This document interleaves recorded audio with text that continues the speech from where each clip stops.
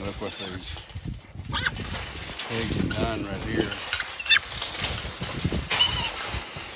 Destroyed this ground. Rooted it all up underneath there. It's unbelievable.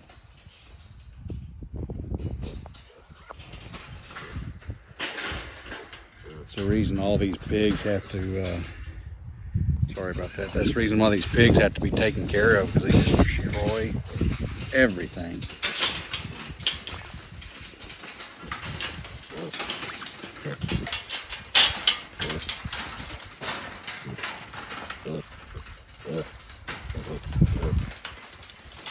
Mom was out here somewhere